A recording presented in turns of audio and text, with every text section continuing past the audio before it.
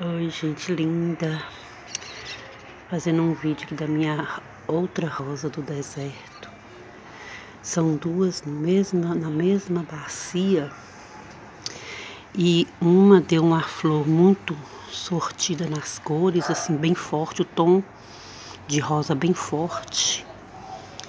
E agora a outra, e tá vindo mais botões nelas, nos dois galhos dela. Aqui, ó.